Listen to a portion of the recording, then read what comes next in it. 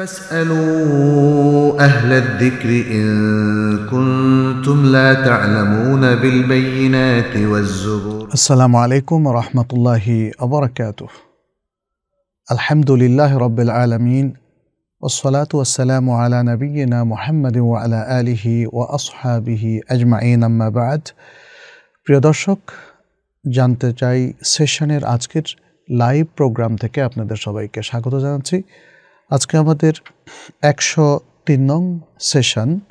আমরা শুরু করলাম। বেতফিকিল্লাহি ওবে ইদনিহি ওয়ামান্নিহি ওয়া কারামি। আজকের এই সেশনের শুরুতেই আমরা ইমাম ইবনুল কাইম রাহমাহুল্লার একটি ছোট্ট কথা আপনাদের উদ্দেশ্যে পেশ করব, যা তিনি তার বিখ্যাত একটি গ্রন্থ আল ফাওয়ায়েদের মধ্যে উল্লেখ করেছেন। তিনি উল্লেখ করেছেন একটি ফায়দা সেখানে একটা ছোট্ট শিরোনাম কৈফা না আরিফুল্লাহ কিভাবে আমরা আল্লাহকে চিনব এই শিরোনাম দিয়ে তারপর তিনি উল্লেখ করছেন الرب تعالى يدعو عباده في القرآن إلى معرفته من طريقتين বলছেন আল্লাহ সুবহানাহু হুয়া তাআলা তার বান্দাদেরকে কোরআনে আহ্বান করছেন যেন তারা তাকে চিনতে পারে দুটো তরিকায়। বলেছেন, মিন তরিকাইন, দুটো তরিকায়। আর তরিক আলাউয়াল সেটা হলো আন্নাদারু আল্লাহর কৃত সকল কর্ম এবং তার সকল সৃষ্টের দিকে গভীর অভিনিবেশ সহকারে তাকানো এবং দ্বিতীয় হল আত্তাফাক্কুরুফি আয়াতিহি ওয়া তাদাব্বরুহা। আল্লাহর যত নিদর্শন, যত আয়াত রয়েছে, সেগুলো নিয়ে গভীর চিন্তা এবং গবেষণা করা।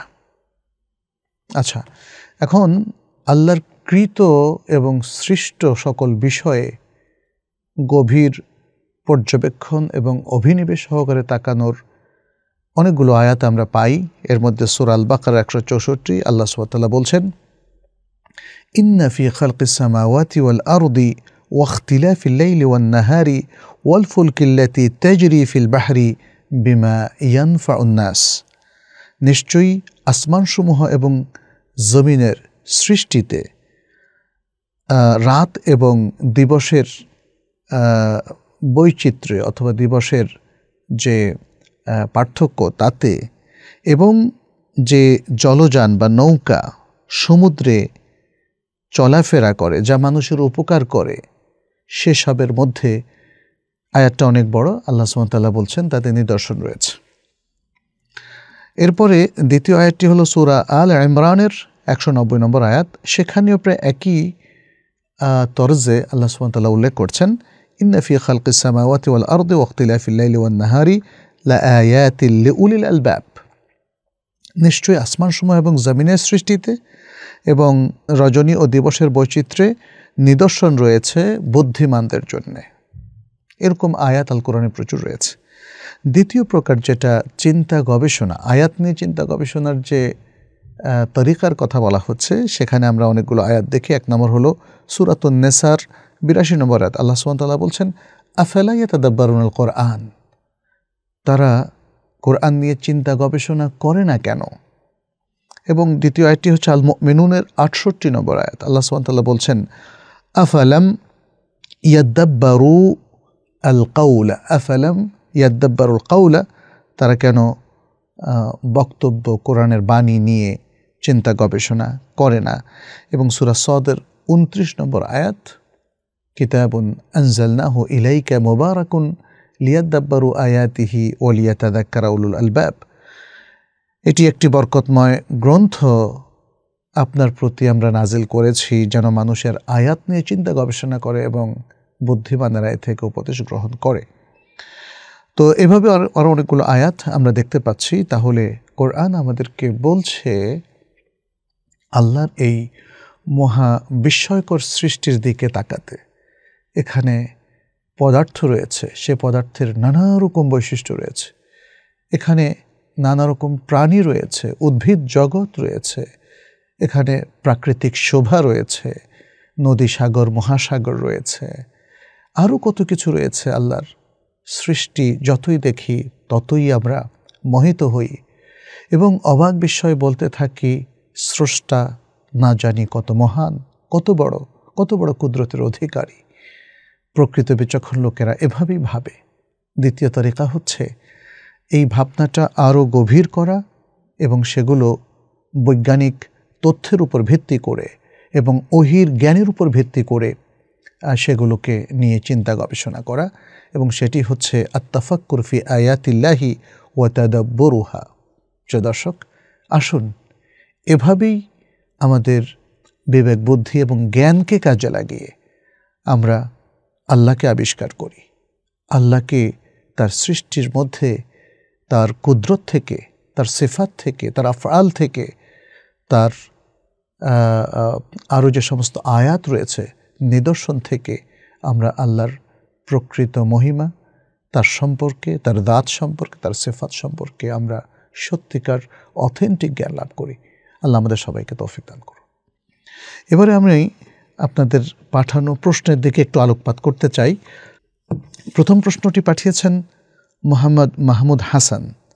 বলেছেন, কালো জাদু অথবা জিনের বিরুদ্ধে রুকিয়ার জন্য নির্দিষ্ট কিছু সুরা অথবা আয়াত, যেমন পঞ্চাশ বা তার চেয়ে কম বেশি আয়াত পড়াকে খাস করে নেওয়া, এটা কি বেদাত হবে?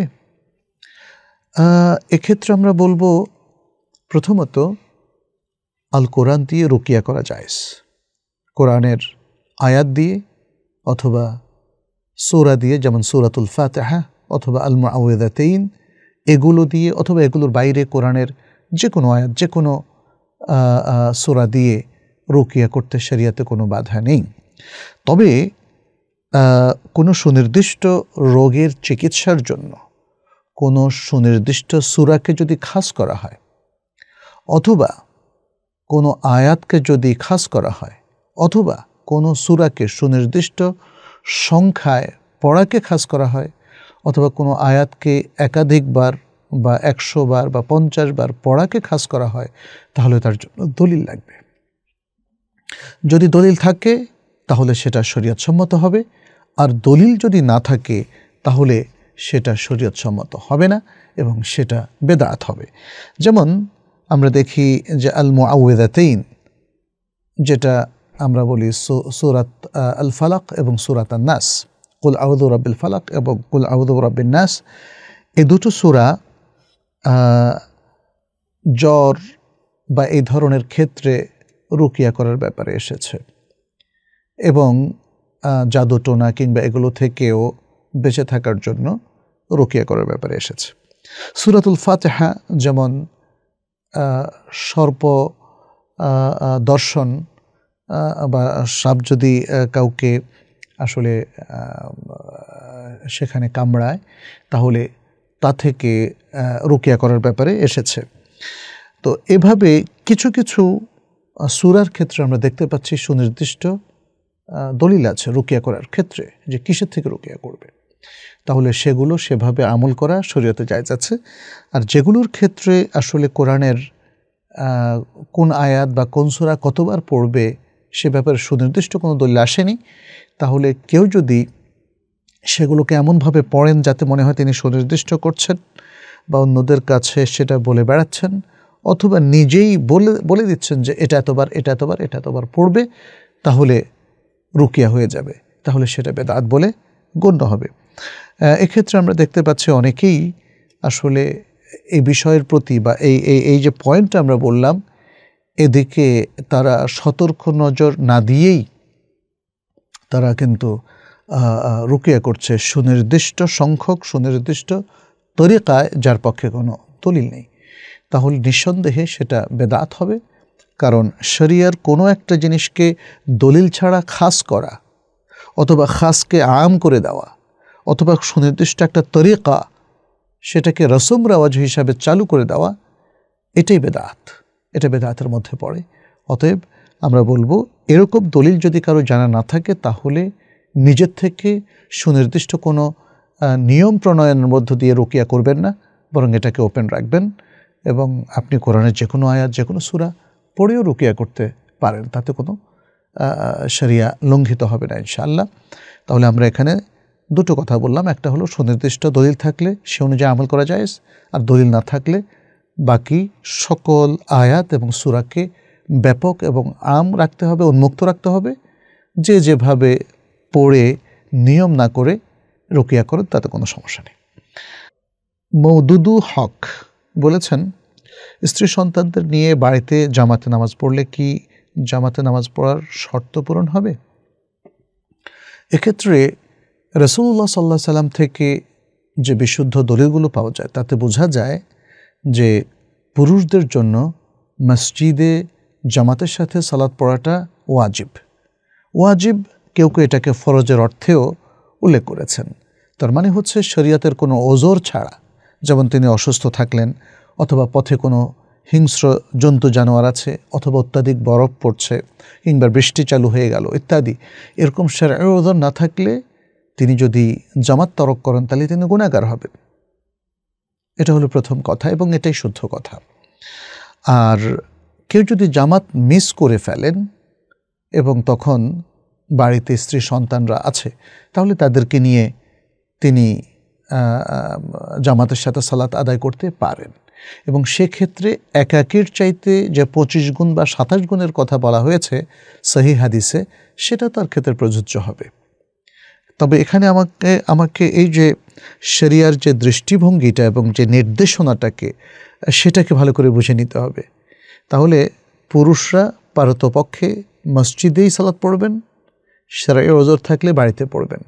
অথবা কোনো কারণে তার হয়তো ঘুমের কারণে বা ভুলে যাওয়ার কারণে যদি জামাতটা মিস হয়ে যায়, তাহলে বাড়িতে পড়বেন এবং সেখানে জামাত করে পড়বেন। তাহলে জামাতের সবটা তিনি পাবেন। মহিলাদের জন্য জামাতে যাওয়াটা জরুরি নয়। তারা বাড়িতে পড়তে পারে, একাকিও পড়তে পারে, জামাতের সাথেও পড়তে পারে। এবং তারা যদি সুযোগ হয়, তাহলে মসজিদে জামাতের সাথে পড়তে পারে, জামাতের সব তারা পাবে। তাদের জন্য মসজিদে জামাতের সাথে সালাদ পড়াটা ম্যান্ডেটরি নয়। সুতরাং এই ডিসকাশন থেকে একজন পুরুষ তার স্ত্রী সন্তানদেরকে নিয়ে বাড়িতে পড়বেন কি না সেই সিদ্ধান্ত নিতে তার জন্য সহায়ক হবে, আমরা বলব যে না, প্রাথমিকভাবে এমনটি করবেন না। এবং সেরাই পদ্ধতিতে বা শরিয়াতের ওজোরের কারণে যদি আপনার জামাত মিস হয়, তখনই আপনি এই পদ্ধতিতে যাবেন। বিনতে নাজিমুল ফাহিমা বলেছেন, পরপুরুষদের ছবি দেখা কি হারাম? যেমন আপনাদের আলোচনা এবং গজল, ভিডিও দেখে শুনি। এটা কি আমাদের জন্য হারাম? আমাদের বলতে আপনি মেয়েদের জন্য বোঝাচ্ছেন, হারাম কিনা? এখানে আমরা এই যে মেয়েদের, পুরুষদের ভিডিও দেখা, এটাকে মানে বিভিন্নভাবে আমরা উল্লেখ করতে পারি। প্রথম কথা হচ্ছে, যদি এটা নাটক হয় যেখানে অনেক খারাপ দৃশ্য কিংবা অ্যাডভার্টাইজ হয় অথবা সিনেমা হয়, তাহলে এটা পুরুষ এবং মহিলা উভয়ের জন্যই শরীয়তসম্মত নয়। আর দ্বিতীয়ত হচ্ছে যদি ভালো কিছু হয়, যেমন খবর দেখা, যেমন ওয়াজ মাহফিল, যদি সেখানে অথেন্টিক বিশুদ্ধ কথা থাকে, অথবা যেমন ক্লাস হ্যাঁ অনেক স্কলারদের ক্লাস আছে, বা শরীয়সম্মত কবিতা, আবৃত্তি বা ইসলামী যে নাসিদগুলো আছে, সেগুলো দেখার ক্ষেত্রে যদি মেয়েরা পুরুষদেরকে দেখে, তাহলে এই ব্যাপারটাকেও আমরা দুভাগে ভাগ করতে পারি। এক দেখাটা মৌলিকভাবে জায়েজ, সেটা ধরে নিয়ে আমরা বলছি। প্রথমত, মহিলা যখন পুরুষদের দিকে তাকায়, তখন যদি সে শাহওয়াতের সাথে একটা আগ্রহ, একটা আকর্ষণ নিয়ে সে তাকায়, তাহলে তার এই দেখাটা সর্বসম্মতিক্রমে হারাম হবে। সেক্ষেত্রে তার জন্য ভিডিও দেখাটা জায়েজ হবে না এদের। যদিও সে ভালো লোকদেরকেই দেখছে, ভালো কথাই শুনছে, তখন সে শুধু অডিওটা শুনবে, ভিডিওটা দেখবে না। এক্ষেত্রে আরেকটা জিনিসও হতে পারে, যদি ভিডিও থাকেও, অনেক সময় দেখা যাচ্ছে যে অডিও থেকে ভিডিওকে আলাদা করা হয়নি বা ভিডিও থেকে অডিওকে আলাদা করা হয়নি। তাহলে সেক্ষেত্রে তিনি দৃষ্টিকে অবনমিত রাখবেন, তাকাবেন না, শুধু অডিওটা শুনে যাবেন। এর দলিল হলো, সুরাত নূরের সে আয়াতটা যেখানে আল্লাহ সুমতাল্লাহ মোমেন নারীদেরকে উদ্দেশ্য করে বলছেন অকুল্লিল মিনাতি ইয়াকদুদনা মিন আবসারিহিন্না ওয়াহফাজনা ফুরুজাহুন্না। মমিন নারীদেরকে বলে দিন যে তারা যেন তাদের দৃষ্টিকে অবনমিত রাখে, সংযত রাখে এবং তারা যেন তাদের লজ্জাস্থানের হেফাজত করে। তাহলে যখনই কোনো মোমেন নারী কোনো পুরুষকে সরাসরি অথবা স্ক্রিনে দেখার কারণে কোনো আকর্ষণ বোধ করবে, তখনই তাকে সেখান থেকে সরে আসতে হবে এবং তার দেখাটা কন্টিনিউ করা হারাম হবে এবং সেখান থেকে তার দৃষ্টিকে সংযত করাটা ওয়াজিব হবে। দ্বিতীয় হচ্ছে, যদি মেয়েরা সাধারণত ক্লাসে বা কোনো আলোচনায় অথবা কোনো ইসলামী বক্তব্য শুনতে গিয়ে পুরুষদের প্রতি কখনো কখনো তাকায় বা তাকিয়ে শোনে, কিন্তু তার মধ্যে তার জৈবিক কিংবা কামনাগত কোনো আকর্ষণ নেই তার কোনো সাহওয়া নেই, তাহলে এই দেখাটা জায়জ হবে। তবে এটাকে লম্বা টাইম কন্টিনিউ করে শেষ পর্যন্ত যদি আবার আকর্ষণে পড়ে যায়, সেটা থেকে তাকে বেরিয়ে আসতে হবে এবং এই বিষয়টা আসলে দেখা যায় যে একজন স্কলারের অনেকগুলো আলোচনা যদি কারও ভালো লাগে, অনেক সময় তাকেও ভালো লাগা যেতে শুরু করে। সেই সময় তখন আর তার ভিডিও দেখাটা তার জন্য সঙ্গত হবে না। তো তার আগ পর্যন্ত যদি কোনো ধরনের আকর্ষণ সে বোধ না করে এবং এটাকে খুবই ন্যাচারাল কোনো দৃশ্যের মতো সে দেখে, যেমন গাছপালা, যেমন অন্য অন্য যে কোনো কিছুর মতো, এটা হতে পারে, এটা অধিকাংশ সময় এটাই হয়, এটাই স্বাভাবিক, তাই না? তাহলে দেখতে কোনো অসুবিধা নেই। এর দলিল হলো, বখারি মুসলিমের হাদিস আয়সা রাদি আল্লাহ তালাহ সম্পর্কিত যে রাসুল্লাহ সাল্লাহ সাল্লাম ঈদের দিনে হাবসি গোলামদের যে খেলাধুলা চলছিল, সেটি দেখানোর জন্য এবং দেখার জন্য আয়সা রাদি আল্লাহ তালা আনহাকে তিনি তার কাঁধের উপর দিয়ে উঠিয়ে দিয়েছিলেন এবং তিনি তাকে পারমিশন দিয়েছেন। তবে আয়সাকে তিনি আবৃত্ত করে দিয়েছেন, কোনো চাদর দিয়ে ঢেকে দিয়েছেন যাতে বাইরে থেকে কেউ তাকে দেখে না ফেলে। আর আয়সাকে তিনি সেই দৃশ্য সে খেলাধুলা যেখানে পুরুষরাও আছে। সেই খেলাধুলা দৃশ্য দেখার জন্য তিনি অনুমতি দিয়েছিলেন ক্লান্ত না হওয়া পর্যন্ত, তার মানে দীর্ঘ টাইম দেখার ব্যবস্থা করে দিয়েছিলেন। আর সেখানে দেখা গেল যে মেয়েরা অথবা মহিলারা পুরুষদেরকে দেখাটা যদি ন্যাচারাল হয়, যদি কোনো ধরনের আকর্ষণের কারণে না হয়, খেলাধুলা দেখার প্রতি আকর্ষণ সেটা ভিন্ন কথা। বাট পুরুষ মানে নারী হিসাবে পুরুষের প্রতি যে একটা বিপরীত লিঙ্গের প্রতি আকর্ষণ, সেই শাহওয়াত যদি না থাকে, তাহলে এটা জায়েজ। এখানে যে হাদিসটা এসছে আমরা দেখেছি নবী সাল্লাহ সাল্লাম এর ব্যাপারে। আয়সারাদি আল্লাহ তালা বলছেন ওরা আইতুন নবী সাল্লাহ সাল্লাম ইয়াস্তুরুনি বেরে দাহি আমি দেখলাম যে নবী সাল্লাহ সাল্লাম আমাকে তার চাদর দিয়ে ঢেকে দিলেন, যখন ও আনা আন্দরুল হাবাসা আমি হাবসি গোলামদের খেলাধুলার দিকে দেখছিলাম ইয়ালা আবু নাফিল মসজিদ যারা মসজিদ বা মসজিদের আঙিনায় খেলাধুলা করছিল, হাত্তা আকুনা আনুল্লাদি আস আম আমি নিজে ক্লান্ত না হওয়া পর্যন্ত তিনি দেখার পারমিশন আমাকে দিয়েছেন। এভাবে আমরা দেখলাম সহি বুখারি সহ সহি মুসলিম আর অন্য হাদিস গ্রন্থে হাদিসটা এসেছে। তো সুতরাং এর দ্বারা বোঝা গেল যে পরপুরুষদের দেখা সর্বাংশে হারাম নয়, কখনো কখনো সেটা হারাম হতে পারে। যেটা আমরা আমাদের আলোচনায় স্পষ্ট করে উল্লেখ করেছি। তাহমিনা বেগম বলেছেন, তিনি দুটো প্রশ্ন করেছেন আসলে। প্রথম প্রশ্ন কোনো শ্বশুর শাশুড়ি যদি দুজন পুত্রবধূর মধ্যে কোনো একজনকে বেশি গুরুত্ব দেন, কারণ সে পুত্রবধূ তাদের সেবা যত্ন করে, তাহলে কি শ্বশুর শাশুড়ির পুত্রবধূর হক নষ্ট করার গুণা হবে? হক নষ্ট করা ভিন্ন একটা ব্যাপার। গুরুত্ব দেওয়াটাকে যেটা আপনি বললেন, এটাও আসলে একটা অ্যাবস্ট্রাক্ট অস্পষ্ট বিষয়। কীভাবে গুরুত্ব দিচ্ছেন? সাধারণত যদি কোনো মানুষ আপনার কোনো সেবা যত্ন করে, তার প্রতি আপনার একটা আগ্রহ, একটা ভালোবাসা, একটা আকর্ষণ, একটা মমতা জন্ম নেবে, এই মমতাটাকে কি আমরা অধিক গুরুত্ব বলব? উত্তর হচ্ছে যে না। এটা অধিক গুরুত্ব নয়। অধিক গুরুত্ব হচ্ছে দুজনের মধ্যে বৈষম্য করা। যদি বৈষম্য করা হয়, তাহলে যার প্রতি বৈষম্য করা হয়নি, তার প্রতি বেশি ভালোবাসা পোষণ করা হয়েছে, তাকে গুরুত্ব বেশি দেওয়া হয়েছে। এবং যার প্রতি বৈষম্য করা হয়েছে, এটা অন্যায় করা হয়েছে। যদি এই যে যিনি সেবা যত্ন করেন, তার প্রতি আকর্ষণটা যদি শ্বশুর শাশুড়িকে বৈষম্যের দিকে ঠেলে দেয়, তাহলে তিনি অপর পুত্র বধূর হক নষ্ট করলেন। বৈষম্যটা কেমন? যেমন যদি যে কোনো ক্ষেত্রে সুযোগ সুবিধা, খাবার দাবার ইন্টারাকশান ইত্যাদি সব ক্ষেত্রে তিনি স্পষ্টভাবে ওই পুত্রবধূকে প্রাধান্য দিচ্ছেন। সবার সামনে তার গুণগান করছেন আর সুযোগ পেলে ইনাকে তিনি ছোট করছেন, হেয় করছেন, মানসিকভাবে কোণঠাসা করছেন কিংবা কথাবার্তায় তাকে ছোট করছেন, কষ্ট দিচ্ছেন, আরেকজনকে কথাবার্তায় ফুলিয়ে দিচ্ছেন। এই যদি হয় তার আচরণ শ্বশুর শাশুড়ির, তাহলে এটা অবশ্যই আপত্তিজনক এবং এটা কবিরা গুনাহের মধ্যে গণ্য হবে, হক নষ্ট করার মধ্যে গণ্য হবে। কিন্তু শ্বশুর শাশুড়ি যদি দুই পুত্রবধূর সবার প্রতি সুন্দর আচরণটা ঠিক রাখেন এবং কারও কোনো হককে নষ্ট না করেন, তবে যে পুত্রবধূ তার সেবা যত্ন করে, তার প্রতি আকর্ষণটা তারা বোধ করেন, মমতাটা বা টানটা একটু বেশি ফিল করেন কিন্তু সেটাকে বৈষম্যে রূপান্তরিত করেন না, তাহলে তারা কারও হক নষ্ট করেননি। আচ্ছা তাতে বোঝা গেল যে যে পুত্রবধূ তাদের যত্ন করে না, তাদেরও একটু মানে ভালো কাজে প্রতিযোগিতা করা উচিত, তাই না?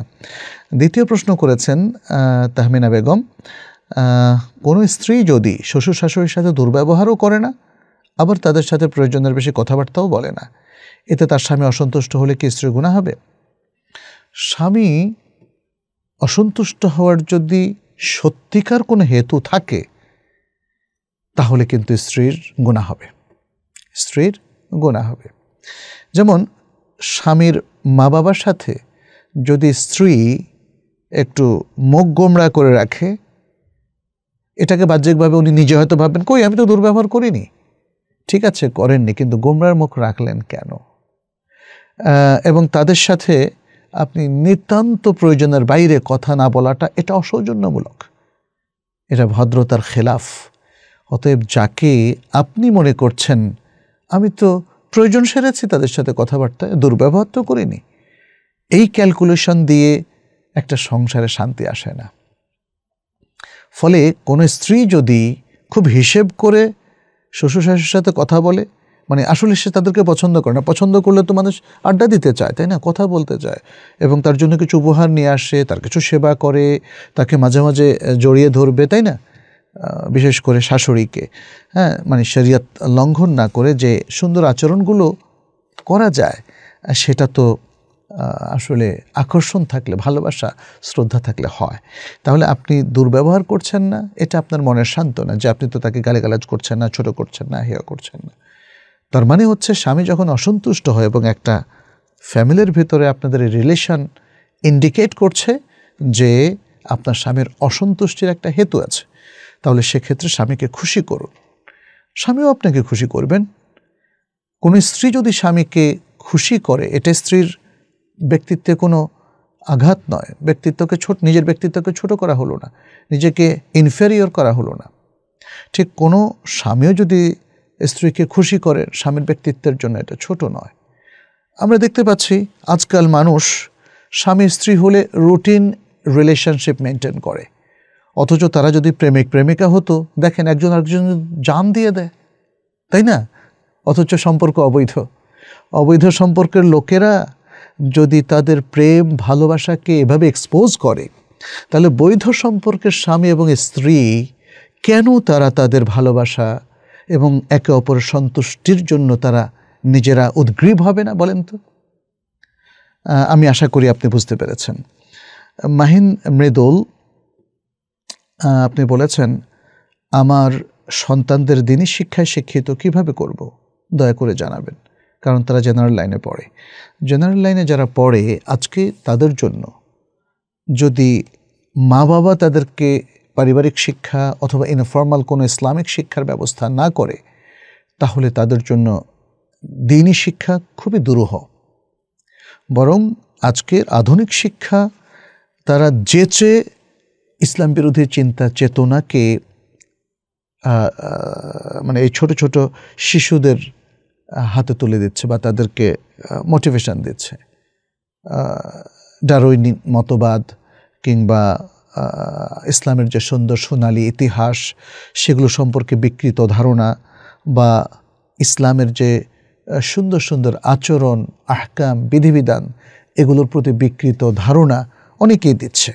আমি এর উদাহরণস্বরূপ বলব যে ইতিমধ্যে তো আমাদের দেশেও স্কুলের বিভিন্ন বই নিয়ে কথাবার্তা উঠেছে। আর পাশাপাশি বিদেশের কথা যদি আমরা বলি, পাশ্চাত্যের সেটা আমেরিকা বলি আর ইউরোপই বলি। তাদের শিক্ষা ব্যবস্থায় আমাদের যে মুসলিম ছেলেমেয়েরা পড়ে, আমি বেশ কিছু শিশুদের এবং শিশুদের অভিভাবকদের সাথে কথা বলেছি। তারা সব বিদঘুটে প্রশ্ন ইসলাম সম্পর্কে করে। যেমন আয়সারাদি আল্লাহ তালা আনহুকে, আনহাকে এত ছোট বয়সে কেন বিয়ে দেওয়া হলো? তারপরে ইসলামে তালাক কেন মেয়েরা দিতে পারে না?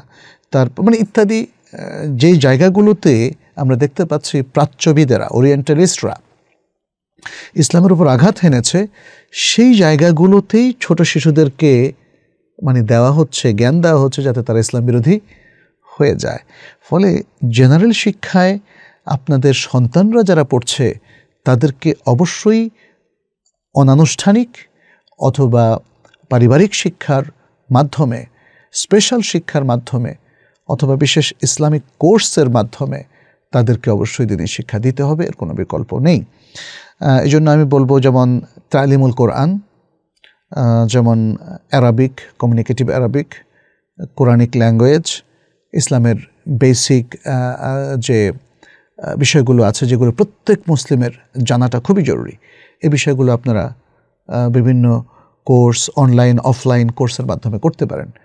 আমরা আপনাদেরকে অলরেডি জানিয়েছি যে আমাদের তাইবা একাডেমি এই কোর্সগুলো অফার করছে। সেখানে ডিপ্লোমা ইন ইসলামিক স্টাডিজ সেটা একটা মৌলিক মানুষের জন্য খুবই জরুরি বেশ কিছু কোর্স নিয়ে সেটা ডিজাইন করা হয়েছে, সেটাতে ভর্তি হওয়া যায়। আমাদের সন্তানরা যখন ক্লাস সেভেন এইট নাইনে পড়ে, তখন থেকে এই ধরনের ডিপ্লোমা কোর্স তারা পড়তে পারে। দ্বিতীয়ত তালিমুল কোরআন এবং কমিউনিকেটিভ অ্যারাবিক এগুলো তাইব একাডেমি আপনাদের জন্য অফার করছে। আপনারা সেগুলোতে ভর্তি হতে পারেন। আর এর বাইরেও এখন বেশ কিছু কোর্স জেনারেলদের জন্য, জেনারেল শিক্ষিতদের জন্য, শিশুদের জন্য এবং বড়দের জন্য অনেকে অফার করছেন। যেমন সাপ্তাহিক ইসলামিক স্কুল, যারা অফ ডেগুলোতে বিশেষ একটা সিলেবাসে জেনারেল স্ট্রিমের ছাত্রদেরকে পড়া, পড়ান। সেই ক্লাসে ভর্তি হওয়া যেতে পারে। শর্ত হচ্ছে তার কারিকুলামটা যেন শুদ্ধ হয়। ঠিক তেমনি বিকালে অ্যাডাল্টদের জন্য মেয়েদের জন্য আলাদা, ছেলেদের জন্য আলাদা যে ইসলামী শিক্ষার যে ব্যবস্থাপনাগুলো আছে, আপনারা সেগুলো সুযোগও নিতে পারেন। তবে সবসময় মনে রাখবেন, সে প্রতিষ্ঠান সঠিক শিক্ষা দিচ্ছে কিনা। মানে ইসলামের যে মৌলিক বিশুদ্ধ জ্ঞানের ধারাটা আছে, সেই ধারা মেনটেন করা হচ্ছে কিনা এটা খুব জরুরি। শুধুমাত্র ইসলামী এবং দিনই পড়াশোনা করলে তো হলো না, সেগুলো শুদ্ধ হতে হবে, এটা খুব জরুরি। মোহাম্মদ আবু ইউসুফ বলেছেন, মোজার উপর মাসে করার সহি তরিকা বিস্তারিত জানালে উপকৃত হব। জি ভাই মোজার উপরে মাসেহ করার সহি বিধান হচ্ছে, আপনি তাহারাত অবস্থায় মোজাটা পরিধান করবেন। তাহলে মুকিম অবস্থায় একদিন এক রাত তথা চব্বিশ ঘণ্টা পর্যন্ত আপনি মাসে করতে পারবেন। আর মুসাফির অবস্থায় বাহাত্তর ঘণ্টা তিন দিন তিন রাত আপনি মাসে করতে পারেন। মাসের নিয়ম হচ্ছে আপনি দুই হাত ভেজা রাখা অবস্থায় পায়ের উপরিভাগ মাসে করবেন। হাতগুলোকে এভাবে ছড়িয়ে পায়ের ডান হাত দিয়ে ডান পায়ের আঙ্গুলগুলো আপনি মাসে করবেন এবং বাম হাত দিয়ে বাম পায়ের আঙ্গুলগুলো উপর দিক থেকে মাসে করবেন পায়ের গোড়ালি পর্যন্ত। ব্যাস, এতটুকু হয়ে গেল।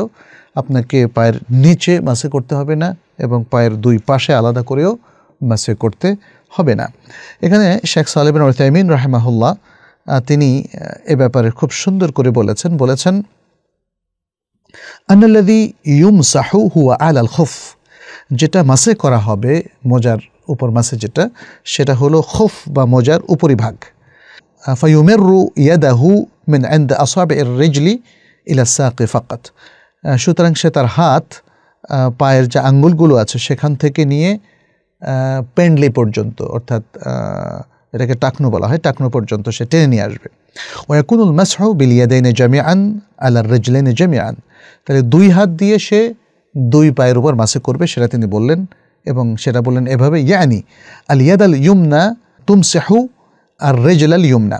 অর্থাৎ ডান হাত ডান পাকে মাসে করবে ওয়াল ইয়াদুল ইউসরা তুমসেহু আর রেজল আল ইউসরা ফিনাফসিল্লাহদা একইভাবে একই সময়ে তার বাম হাত বাম পা মাসে করবে।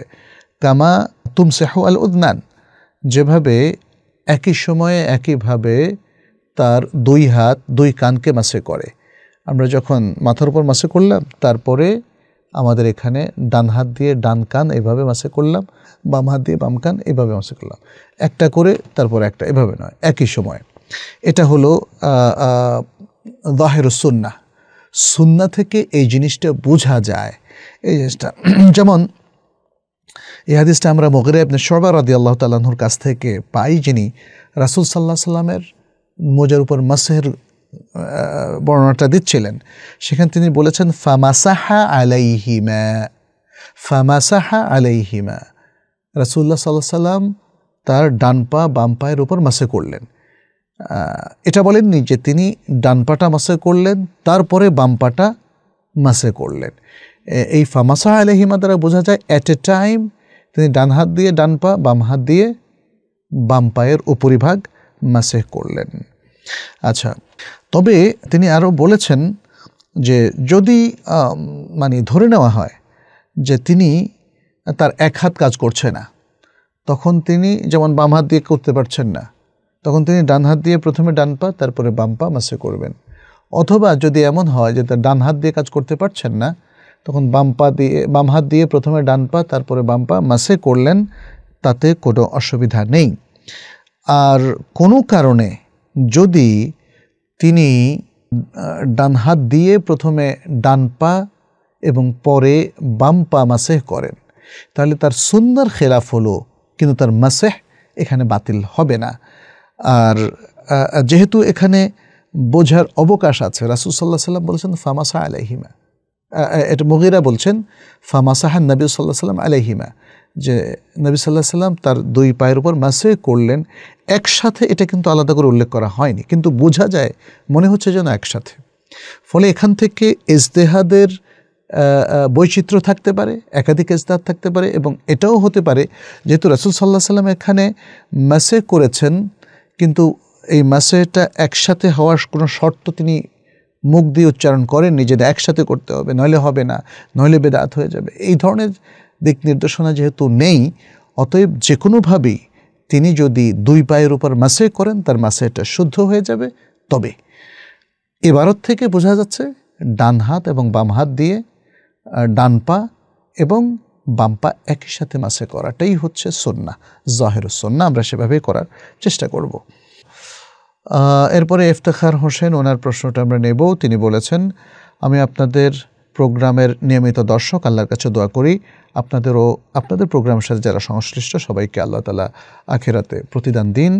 ভাই আল্লাহও আপনাকে ভালো রাখুন এবং আপনার ভালো কাজের উত্তম প্রতিদান আল্লাহ আপনাকে দান করুন। আপনি দুটো প্রশ্ন করেছেন। প্রথম প্রশ্ন হলো, আমি ইসলাম প্র্যাকটিস করা শুরু করেছি অল্প কয়েক বছর হলো।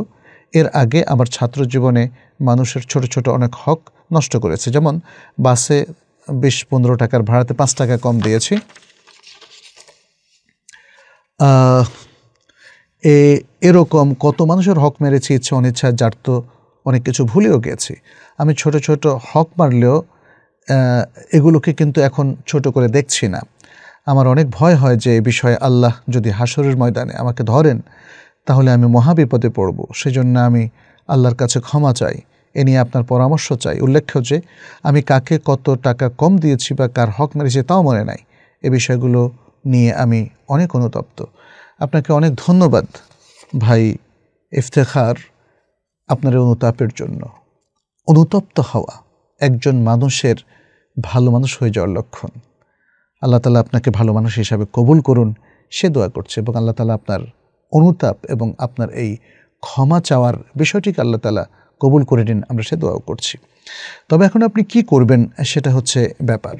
মানুষের হক মারা এটা অত্যন্ত গুরুতর অপরাধ। এবং মহাপাপ, যা আল্লাহ সুবহানাহ তাআলা ওই সংশ্লিষ্ট ব্যক্তি ক্ষমা না করলে ক্ষমা করেন না। ফলে আপনি যে ভুলটা করেছেন সেটা আজকাল আমাদের অনেক ছোট ভাইয়েরা বা সন্তানেরাও করে থাকে। আমি আমার অল্প বয়সী সব ছেলে মেয়েদেরকে আমাদের সন্তান হিসাবেই কথা বলছি। হ্যাঁ যারা ইউনিভার্সিটিতে পড়ছে, যারা ইসলামী তারবিয়াত পায়নি, যারা তাকোয়ার উপরে প্রশিক্ষণ পায়নি। আল্লাহর ভয় যাদের অন্তরে ঢুকেনি, যারা যারা আসলে জগৎকে একটা উল্লাসের জায়গা হিসাবে দেখছে, আনন্দ, উল্লাস, আড্ডা, মজা করা হ্যাঁ? জীবনটাকে তারা নৈতিকতার দৃষ্টিতে দেখেনি এবং সে তার বিয়ত তারা পায়নি। তাদের ক্ষেত্রে এই বিপর্যয়গুলো আমরা দেখি। আমি নিজেও দেখেছি যখন আমি মাদিন ইউনিভার্সিটিতে যাই তার কিছু আগে লোকাল ইউনিভার্সিটিগুলোতে ভর্তির জন্য আমরা প্রক্রিয়া করছিলাম, তখনও দেখেছি বিভিন্ন ইউনিভার্সিটির ক্যাম্পাসে কিংবা রাস্তায় কিংবা বাজারের পাশে তরুণ বয়সী ছাত্র হোক অথবা ছাত্র নয়, অন্য যে কেউ হোক, তারা খেয়ে গিয়েছে কিন্তু টাকা দেয়নি, ডিম খেয়েছে, টাকা দেয়নি। বলেছে, পরে দেব। আমাকে অনেক দোকানদারও বলেছে যে ভাই দেখলেন, এরা এই এলাকায় এভাবে খেয়ে চলে যায়, কোনো টাকা দেয় না। দীর্ঘদিন ধরে এমনটা চলছে। কাউকে বলতেও পারি না, তাদেরকে বললে তারা আবার মারতে আসে। তো এই যে মানে এই ধরনের সিনারি এখন বাড়ছে, কিন্তু আপনাকে ধন্যবাদ জানাই যে আপনার এই অনুতাপটা এসেছে, উপলব্ধিটা এসেছে যে এটা মহা অপরাধ। এটা করা ঠিক নয়। পাঁচটা টাকার জন্য আপনি ঠেকে যেতে পারেন। মানুষের হক মারাটা ভয়াবহ অপরাধ। মানবাধিকার লঙ্ঘনের ব্যাপারে আমরা সবাই ওয়াজ করি, তাই না? আজকের জেনারেল শিক্ষিত বা অমুসলিমরাও সে ওয়াজটা করে। কিন্তু মানবাধিকার কাকে বলে, সেটা নিয়ে আসলে আমাদের ভাবতে হবে। মানবাধিকার তো সব মানুষেরই অধিকার, তাই না? কারও অধিকার ক্ষুণ্ণ করা যাবে না। ইসলাম আমাদেরকে সেটাই শিখিয়েছে। ইসলাম আমাদেরকে এত সুন্দর ম্যানার্স শিখিয়েছে যে পৃথিবীর কারোর প্রতি জুলুম করা যাবে না। না কোনো মুসলিম, না কোনো অমুসলিম। এমনকি কোনো পশু পাখির উপরও জুলুম করা যাবে না। এমনকি আমাদের চারপাশে আল্লাহর সৃষ্ট যে প্রকৃতি, সেটার প্রতিও জুলুম করা যাবে না, সেটাকে নষ্ট করা যাবে না, আবহাওয়াকে নষ্ট করা যাবে না, ইত্যাদি আরও অনেক কিছু।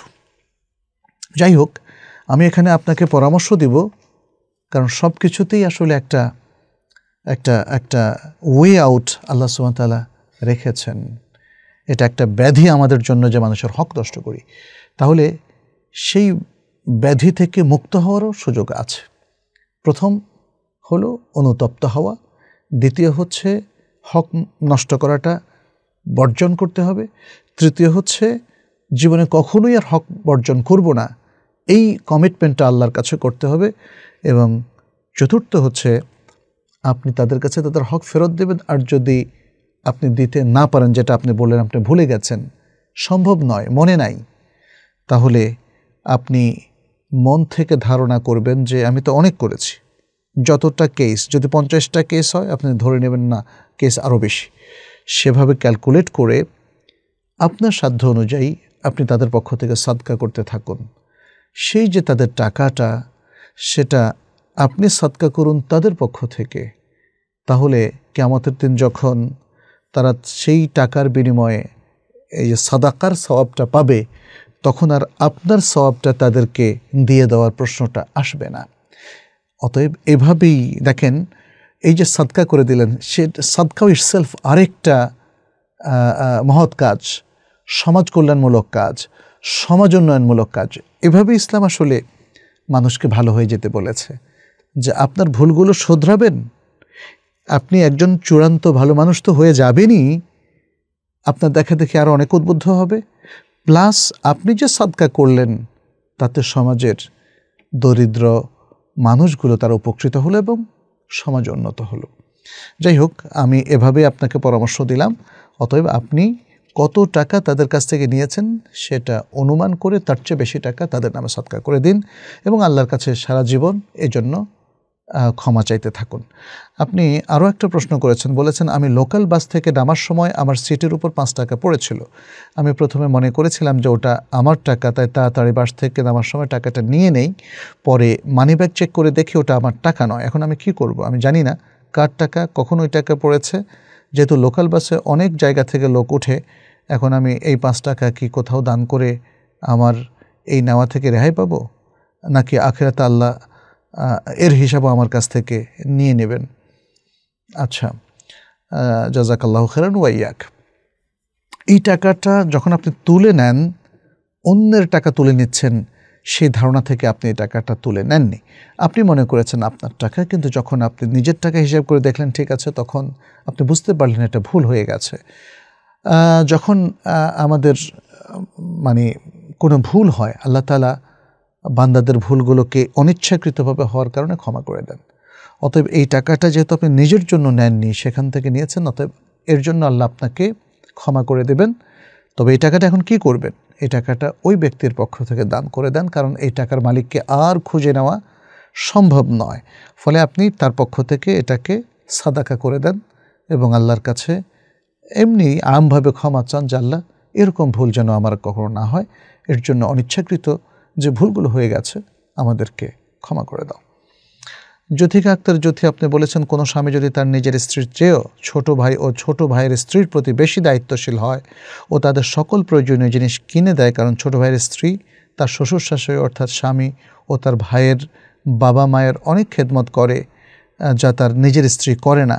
এ কারণে স্ত্রীকে অনেক প্রয়োজনীয় জিনিস দিতে না পারায় তাদের মধ্যে ঝগড়া হয়। ইসলামের দৃষ্টিতে স্ত্রীকে অবাধ্য স্ত্রী বলে গণ্য হবে? ছোট ভাই ও তার স্ত্রী তারা বাবা মায়ের খেদমত করে। এই স্ত্রী তার শ্বশুর শাশুড়ির খেদমত করে না।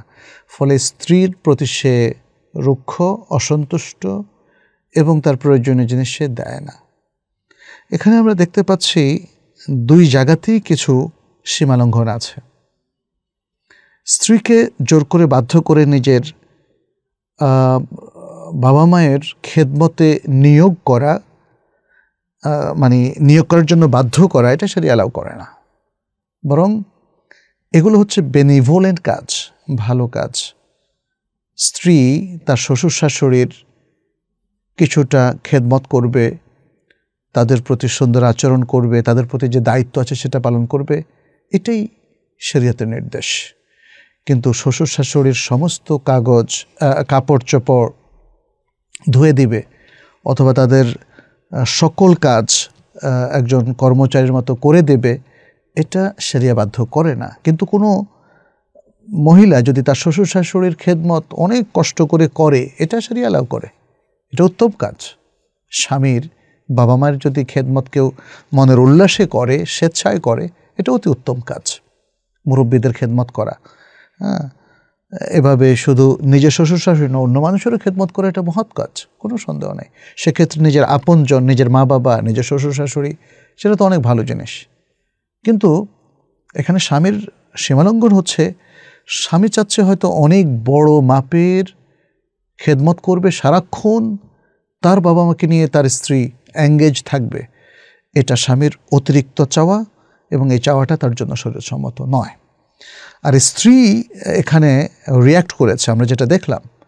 স্ত্রী, তার দেবরের স্ত্রী, সে কাজ করছে, তার শ্বশুর কিছু খেদমত করছে, কিন্তু সে করছে না।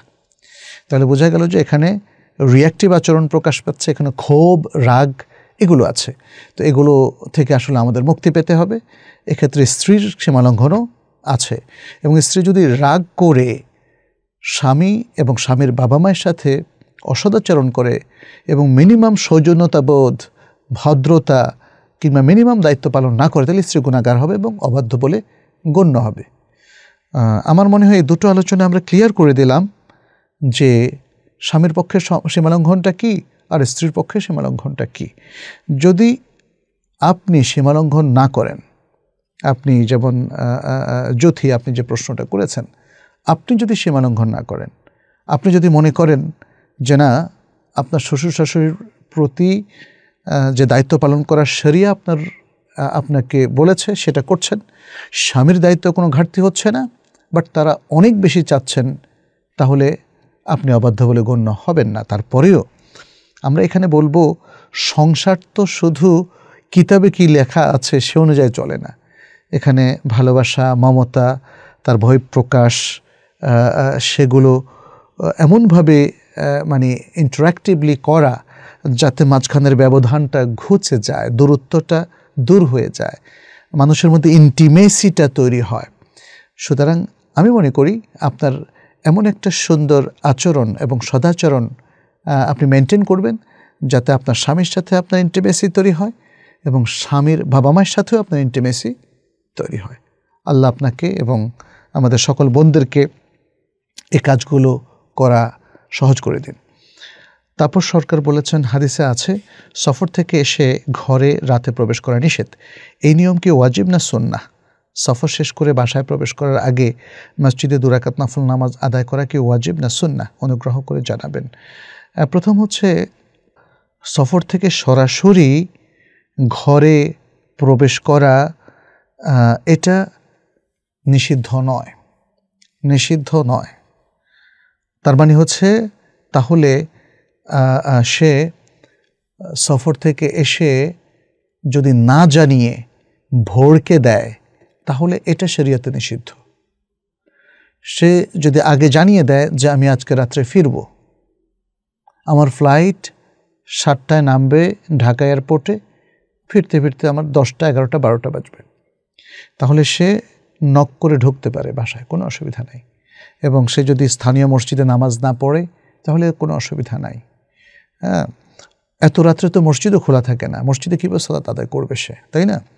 এই এই সব পরিস্থিতি কিন্তু আমাদেরকে মনে রাখতে হবে। তাহলে যেটা নিষিদ্ধ, সেটা কিন্তু বুঝতে হবে হাদিসের ডিসকাশন থেকে। যেমন আমরা জাবির ইবনে আবদুল্লাহ রাদি আল্লাহ তাল্লাহর হাদিসের ডিসকাশন থেকে যেটি সাহি বুখারি এবং মুসলিমে সহ আর অনেকগুলো গ্রন্থ এসছে তো সেই হাদিসের ডিসকাশন থেকে আমরা যেটা বুঝি, সেটা হচ্ছে যদি কোনো ব্যক্তি কোনো প্রকার খবর না দিয়ে গভীর রাতে এসে কড়া নাড়ে, এটা নিষিদ্ধ। কারণ তখন বাড়ির লোকেরা ভয় পেয়ে যাবে, তারা দরজা খুলবে না এবং স্ত্রী নিজেকে স্বামীর জন্য তৈরি করে রাখবে না। ফলে এর মধ্যে একটা বিপর্যয় দেখা দিতে পারে, ভুল বোঝাবুঝি হতে পারে এবং মানে সাংসারিক অশান্তিও দেখা দিতে পারে, এর কনসিকুয়েন্স আরও বহু দূরও গড়াতে পারে। তো ইসলাম বলেছে যে, না, তাকে একটু মাহালাত দেওয়া। যেমন আমরা জাবির ইবনা আবদুল্লাহ রাদি আল্লাহ এই হাদিসে দেখি যে, তিনি তখন নতুন বিবাহ করেছেন। রাসুল সাল্লাহ সাল্লামের সাথে দীর্ঘ আলোচনা হয়েছে, একটা গাজোয়া থেকে ফিরছিলেন। তখন রাসুল সাল্লাম জিজ্ঞেস করেছিলেন, তুমি কাকে বিয়ে করেছ? বিবাহিত নারী যে তালাকপ্রাপ্তা, তাকে বিয়ে করেছ? নাকি কুমারী কোনো নারীকে বিয়ে করেছে ইত্যাদি। এরপরে যখন তিনি বললেন যে, না, আমি কুমারী নয়, অকুমারী নারীকে বিয়ে করেছি তখন তিনি বললেন যে, ঠিক আছে, যাওয়ার আগে তুমি একটু অপেক্ষা করো। কি কথাটা বললে তিনি বললেন, আম হেলু হাত্তা তাদ হুরুলাইলান তুমি একটু অপেক্ষা করো, তাদেরকে যাতে তারা খবরটা জানতে পারে, তারপরে আস্তে ধীরে রাত্রে প্রবেশ করে কারণটা কি উল্লেখ করেছেন? লেকায় তামতাসে তার সায়থা ও তাস্তাহিদ্দাল মগিবা। যেন সে তার অবিন্যস্ত চুল এবং কেশগুলোকে বিন্যস্ত করে নিতে পারে, সুন্দর করে নিতে পারে এবং যেন তার শরীরে যদি কোনো লোম থেকে থাকে সেটাকেও সে পরিষ্কার করে নিতে পারে। তার মানে হচ্ছে স্ত্রী যেন আসলে নিজেকে তৈরি করে নিতে পারে মানসিক এবং শারীরিকভাবে। যেহেতু স্বামী আসছেন, তাহলে তাকে যদি মাহলাত দেওয়া হয়, সেটাই যথেষ্ট। তখন সে সরাসরি গিয়ে প্রবেশ করতে কোনো বাধা নেই। আপনি এখানে প্রশ্ন করেছেন যে আগে কি ঘরে সরাসরি প্রবেশ করবে কি না হ্যাঁ এটা কি নিষেধ কি না ইত্যাদি, তার জবাবে আমি মনে হয় উত্তরটা পেয়ে গেছেন। আর দুরাকাত নামাজ পড়ার ব্যাপারটা শোন না যদি সেটা সুযোগ থাকে, আর যদি সুযোগ না থাকে, তাহলে সে সরাসরি বাড়িতে প্রবেশ করতে পারবে। নাবিলা খান বলেছেন, আমি একজন মেয়ে, আমার বাবা মায়ের বিয়ের সময় আমার নানা অনেক দূরে ছিলেন। আমার বাবা মায়ের বিয়ের সময়, আমার বাবা মায়ের বিয়ের সময় আমার নানা অনেক দূরে ছিলেন। আমার বাবা মা বিয়ের সঠিক মশালাটি জানতেন না। আমার নানাকে না জানিয়ে বিয়েটা করেছেন। বিয়েটা পরে নানা মেনে নিচ্ছেন এখন কি বিয়েটা বাতিল হয়েছে? আর নতুন করে বিয়ে দিলে তাদের বিয়েটা শুদ্ধ হবে? এখন আপনার সন্তানরা কি বৈধ?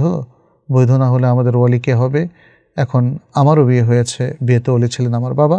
এখন আমার বিয়েটা কি বাতিল? না, আপনার বিয়ে ঠিক আছে, নাবিলা খান। আপনার বিয়ে ঠিক আছে। আপনার বাবা মায়ের বিয়েটা কীভাবে হয়েছিল? সেখানে আপনি ডিটেলস কিছু লেখেননি। তারা কি বটগাছের নিচে একে অপরকে বিয়ে করেছে? কোনো ধরনের ইজাব, কবুল ছাড়া এবং মহারানা ছাড়া, সাক্ষী সাবদ ছাড়া?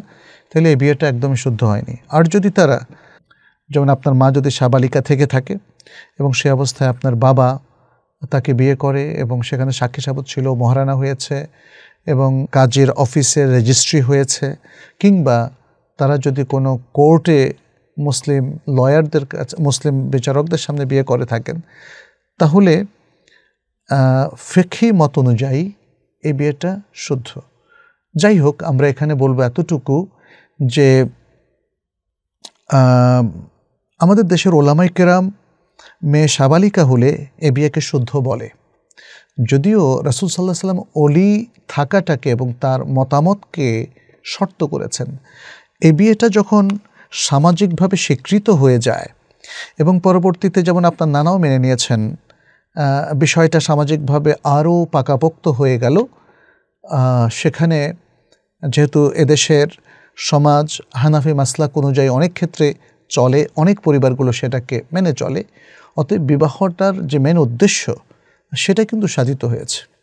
যদিও এখানে যদি আপনি পিওর হাদিসের দৃষ্টিতে দেখেন, তাহলে একটা লঙ্ঘন হয়েছে, সেটা হলো অভিভাবকের অনুমতি ছাড়া বিয়ে। এবং সে বিয়েটা ইনস্ট্যান্টলি যে বিধান, সেটা হলো শুদ্ধ নয়। কিন্তু যখন বিয়েটা অনেক দিন লাস্টিং করে, সামাজিক স্বীকৃতি লাভ করে এবং অভিভাবকরা মেনে নেন, তখন সে বিয়েটা আর অশুদ্ধ বিয়ে বলার সুযোগ থাকে না। সেটা সামাজিকভাবে স্বীকৃত বিয়ে। অতএব আপনাদের, আপনার বাবা মায়ের বিয়ের শুরুতে লঙ্ঘন থাকলেও পরবর্তীতে সেটা সামাজিক স্বীকৃতির কারণে স্বীকৃত বিয়ে বলে গণ্য হয়েছে। অতএব, আপনার বাবা, আপনার ওয়ালি এবং তার সম্মতিতে আপনার বিয়ে হয়েছে, আপনার বিয়েটা শুদ্ধ। আচ্ছা সাইফ ইউসুফ বলেছেন কারও বাবা যদি সৌদি ব্যাংকে চাকরি করে এবং সে যদি উপার্জন করতে সক্ষম হয়, তাহলে কি তার জন্য বাবার কেনা খাবার খাওয়া জায়েজ হবে? কিংবা বাসায় থাকা যদি জায়েজ না হয়ে থাকে, তাহলে এ থেকে সরে আসা যায় কীভাবে? কারণ বাবাকে এটা সরাসরি বললে যেমন তোমার খাবার খাব না, এদের সম্পর্ক খারাপ হওয়ার সম্ভাবনা থাকে। অন্য কোনোভাবে কি এটার কাফারা হতে পারে? আর এই পরিস্থিতিতে সন্তানের বিয়ের অলিমার খরচ যদি বাবা বহন করে সেটাকে জায়েজ হবে? না হলে সেটা থেকে সরে আসার পরামর্শ দেবেন দয়া করে। বাবা সুদী ব্যাংকে চাকরি করেন তার উপার্জনের ক্ষেত্রে তো অবশ্যই অবজেকশন রয়েছে আমাদের সকল ওলামাইকারা বলেছেন, সুদের সাথে সম্পৃক্ত ব্যক্তির উপার্জন হালাল নয়। তাহলে যদি আপনি নিজে সক্ষম হন, তাহলে আপনার জন্য যে কোনো হারাম ইনকাম থেকে নেওয়াটা বৈধ হবে না। আপনি যদি যেমন বয়স্ক বোঝাই যাচ্ছে আপনি হয়তো চাকরি করেন বা অ্যাডাল্ট তাহলে এক্ষেত্রে আপনি নিজে চলার চেষ্টা করবেন। বাবাকে আপনি বলবেন, পরামর্শ দেবেন। বাবাকে মনে কষ্ট না দিয়ে তার সম্মান নষ্ট না করে, কারণ প্রত্যেক ব্যক্তির একটা সম্মান থাকে। আপনার বাবা যদিও এই ব্যাংকে চাকরি করছে, এটা আসলে মিম্মা ইয়াম ভিল বালুয়া আমাদের মুসলিম সমাজগুলোতে বা সারা বিশ্বব্যাপী অর্থনৈতিক ব্যবস্থা সুদ নির্ভর হয়ে গেছে। ফলে মানুষ যে খুব কায়দা করে হালাল বাদ দিয়ে সুদে সম্পৃক্ত হচ্ছে ব্যাপারটা তা না। মানুষের প্রথম অ্যাটেম্পটেই সে সুদে ঢুকে যাচ্ছে। আজকে হলো সেই ফেতনার যুগ, তাই না? তো এই অবস্থায় সুন্দরভাবে আপনার বাবাকে আপনি অ্যাপ্রোচ করবেন এবং তিনি যেন হালাল ইনকামে দিকে ছুটে চলে আসেন সেই চেষ্টা যেন তিনি করেন।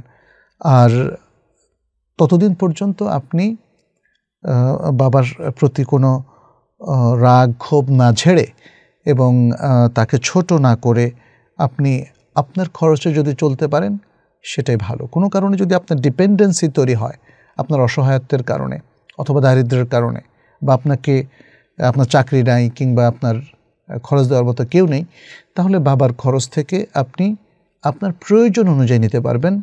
শৌখিনতার জন্য নয়, কারণ এটা একটা জরুরত এবং সেই জরুরত মেটানো বিশেষ করে বাবার ইনকামের মধ্যে যদিও হারাম আছে, সেখান থেকে নেওয়াটা জায়েজ আছে। আচ্ছা হাসিবুল শামীম বলেছেন, আমি গাড়ি চালাই, প্রায় সময় আমি সফরের দূরত্বে যাই, তখন চার রাকাত বিশিষ্ট নামাজ দু রাকাত পড়া কি আমার জন্য বাধ্যতামূলক? নাকি আমি চার রাকাত পড়তে পারব? দেখা যায় ওই এলাকার সবাই চার রাকাত পড়ছে, কিন্তু আমি যদি দু রাকাত পড়ে সালাম ফিরিয়ে ফেলি, তাহলে আমার কাছে নিজেকে হীনমন্য মনে হয় জাজাকাল্লা খের। আপনি গাড়ি চালান, সফরের দূরত্বে যান, তাহলে আপনি দুরাকাতই পড়বেন। এটাই বিধান। অনেকের মতে সেটা ওয়াজিব। যদিও বিশুদ্ধ মত হচ্ছে আপনি চার রাকাত পড়লেও আপনার সালাত হয়ে যাবে। আচ্ছা এখন আপনি যদি ইমামের পেছনে পড়েন, এলাকার ইমামের পেছনে পড়েন, তখন তো আপনার দুরাকাত পড়ার কোনো সুযোগ নেই তো। ইমামের একতেদা করতে হবে এবং আপনি মুসাফির হওয়া সত্ত্বেও ইমাম যদি মকিম হয়, তাহলে ইমামকে ফলো করতে হবে এবং মসজিদে আপনার লজ্জা পাওয়ার কী কারণ আছে? আপনাকে তো চার জায়গাতেই পড়তে হবে তখন ইমামের পেছনে। আর আপনি যদি একাকি পড়েন, তখন তো আর মানুষ দেখছে না, তখন আবার লজ্জা পাচ্ছেন কেন দু একাত পড়তে, তাই না? যাই হোক নাফসের কুপবৃত্তি মধ্যে পড়ে শিরিক করলে আল্লাহ কাছে মাফ চাইলে আল্লাহকে মাফ করবেন হ্যাঁ? আল্লাহ মাফ করবেন। তওবাতে আল্লাহ শিরিককেও মাফ করেন। তা নাহলে তো অমুসলিমরা মুসলিম হতে পারতো না, মুশ্রিকরা আর মুসলিম হতে পারতো না। মুশ্রিকরা তাদের শিরিক থেকে তবা করে যদি ইসলামের মধ্যে দাখিল হয় তাহলে তার পূর্বের সকল পাপ ক্ষমা হয়ে যাবে। কোনো কাফির ব্যক্তি যদি তার কুফুরি থেকে তবা করে ইসলামের মধ্যে দাখিল হয়, তাহলে পূর্বের সকল কুফুরি তার ক্ষমা হয়ে যাবে। অতএব মুসলিমরা, তারা যদি কোনো ভুলে অথবা ইচ্ছায় স্বেচ্ছায় কোনো সেরেক বা কুফুরি করে ফেলে, যে কারণে সে দিন থেকে বের হয়ে গেল, তাহলে তার পক্ষেও আবার দিনে ফিরে আসা সহজ, খুবই সহজ। কোনো আনুষ্ঠানিকতা নেই, কোনো প্রায়শ্চিত্তের ব্যাপার নেই। অন্য ধর্মের মতো, বরং সে শুধু আল্লাহর কাছে তবা করে আবার সিনসিয়ারলি দিনের মধ্যে সে প্রবেশ করবে। আপনি আরও প্রশ্ন করেছেন যে, আমি আমি নফসের কুপবৃত্তিতে পড়ে গেছি। আমি নফসের কুপবৃত্তিতে পড়ে গেছি, অনেক চেষ্টা করেও কুপবৃত্তি থেকে বেরিয়ে আসতে পারছি না। দিন দিন মনে হচ্ছে আমি ভ্রষ্ট হয়ে যাচ্ছে। কুপবৃত্তি থেকে কীভাবে মুক্তি পাবেন? কুপবৃত্তির মধ্যে ডুবে যাওয়া, এটা একটা বড় ধরনের রোগ। এই প্রবণতাটা আজকের আধুনিক জীবন আমাদেরকে দিয়েছে। আমাদের প্রচার মাধ্যম এন্টারটেইনমেন্ট খেলাধুলা অশ্লীলতা, এসব কিছু আসলে কুপবৃত্তির দিকে তরুণ সমাজকে ঠেলে দিচ্ছে। তো আমি ধন্যবাদ জানাই যে আপনি এ থেকে বেরিয়ে আসার চেষ্টা করছেন এবং আপনার মধ্যে অনুতাপ সৃষ্টি হয়েছে। কুপবৃত্তি থেকে বের হওয়ার জন্য অবশ্যই ইসলাম আমাদেরকে তার প্রোগ্রাম দিয়েছে। কোরআন এবং হাদিসমুখী হলে এ প্রোগ্রামগুলো আমরা জানতে পারব। কোরআন তেলাওয়াত করা, এটা ইটসেলফ একটা খুব ইমপ্রেসিভ পদ্ধতি। সবসময় কোরআন তেলাওয়াত করবেন, অর্থসহ। কোরআনের অর্থটাই আমাদের অন্তরে গেঁথে যায়। তেলাওয়াতটা তো কানের উপর দিয়ে যায়, ভালো লাগে। কিন্তু অর্থটাই হৃদয় স্পর্শ করে। আমাদের হেদায়তের কারণ হয়। আল্লাহ অভিমুখী আমাদেরকে করে দেয়। সুতরাং প্রথম হচ্ছে কোরআন, অর্থসহ পড়বেন। দ্বিতীয় হচ্ছে আপনি আপনার ইমানকে শক্তিশালী করবেন। ইমানকে শক্তিশালী করবেন। ইমানকে শক্তিশালী করার জন্য প্রথমত যে কাজটা করতে হবে সেটা হচ্ছে ইবাদতগুলোতে রেগুলার হতে হবে। ফরজ, ওয়াজিব কখনোই ছাড়া যাবে না। আর হারামগুলোকে বর্জন করতে হবে। তাহলে ইমান শক্তিশালী হবে যদি ফরজ, ওয়াজিব সকল ইবাদত সুন্দর করে করি। আর হারামগুলোকে বর্জন করি। তৃতীয় যে কাজটা, সেটা হলো কুপবৃত্তির মধ্যে তরুণ সমাজে সম্পৃক্ত হওয়ার বড় কারণ হচ্ছে অশ্লীলতা। তাহলে বিবাহ। তৃতীয় নাসিহাটা হচ্ছে বিবাহ। বিবাহ করলে নিজেকে অনেক খারাপ জিনিস থেকে আমরা নিজেকে রক্ষা করতে পারব। প্রথম হচ্ছে যদি কারও জেনা ব্যবচার কিংবা মাস্টার বেশনের অভ্যাস থাকে, সেটা থেকে সে বেরিয়ে আসতে পারবে। সে পণ্য বা খারাপ দৃশ্য দেখার অভ্যাস থাকলে সেখান থেকে বেরিয়ে আসতে পারবে। অন্যদের সাথে গসিপ করা, গল্প করা মেয়েদের সাথে উঠা বসা করা ফ্রিমিক্সিং করা, এগুলো থেকে সে উঠে আসতে পারবে যদি সে সুন্দর বৈধ বিবাহ বন্ধনে আবদ্ধ হয়। চতুর্থ যে বিষয় সেটা হলো সিয়াম। সিয়াম, যারা বিবাহের সামর্থ্য নয় তাদের জন্য সিয়াম তাদের চরিত্রকে রক্ষা করে। সেটি রাসুল সাল্লাহ সাল্লাম হাদিসে বলেছেন অমাল্লাম ইয়াস্তার ফায়ালাহি বিসাম যারা বিবাহ সামর্থ্য রাখে না, তারা যেন সিয়াম রাখে। অমাল্লাম ইয়াস্তার ফায়ালাইহি বিসিয়াম ফা ইন্নাহুলাহু উইজা এই হাদিসটা বোখারে, মুসলিম এসছে। চতুর্থ পঞ্চম যে বিষয়টি, সেটি হচ্ছে পাপ থেকে নিজেকে দূরে রাখা, এমনকি সগিরা থেকেও। মানুষ যখন বারবার সগিরা করে, সেটা কবিরা হয়ে যায়। যে কোনো পাপ, পাপকে ঘৃণা করতে হবে। দুর্নীতি, জুলুম, অশ্লীলতা আরও যত খারাপ কাজ আছে, মিথ্যা কথা বলা, প্রতারণা করা, পাপকে ঘৃণা করতে শিখতে হবে, নিজেকে তার উপর অভ্যস্ত করতে হবে, তাহলে কুপবৃত্তি নিয়ন্ত্রণ করা যাবে এবং কুপবৃত্তি থেকে উদ্ধার করা যাবে। ষষ্ঠ যে বিষয়টি, সেটি হচ্ছে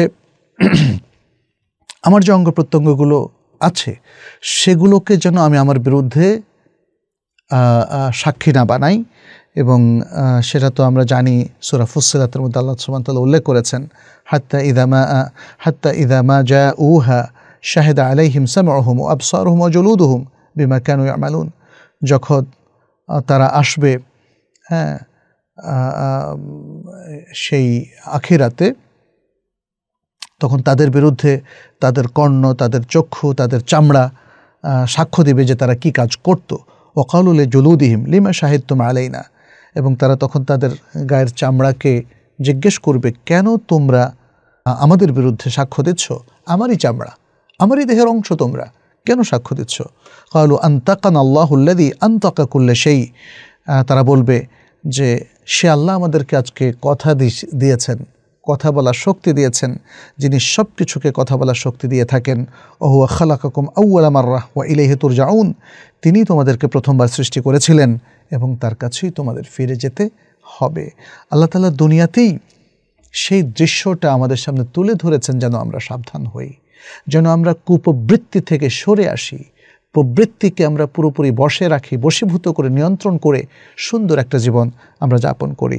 সপ্তম যে বিষয়টা, সেটি হচ্ছে মানে সার্বক্ষণিকভাবে এই চেতনা এবং এই বিশ্বাস রাখা যে আল্লাহ আমাকে দেখছেন। এটাকে বলা হয় মোরাকাবাতুল্লাহ। তার মানে হচ্ছে আমি যতই নির্জনে যাই, সত্যিকার অর্থে আমি কিন্তু নির্জনে থাকতে পারি না। যেখানেই যাই, সেখানে আল্লাহ আছেন। যেখানেই যাই, সেখানে আল্লাহ আমাকে দেখছেন। আল্লাহ শুনছেন কি আমি বলি। আল্লাহ দেখছেন কি আমি করি। এবং আল্লাহ জানেন কি আমার অন্তরে আছে। ফলে আল্লাহ থেকে নির্জনে যাওয়ার কোনো সাধ্য আমাদের নেই। অতএব সার্বক্ষণিকভাবে চেতনা যদি আমরা লালন করি, তাহলে প্রবৃত্তি আমাদের উপর বিজয়ী হবে না, আমরা প্রবৃত্তির উপর বিজয়ী হব।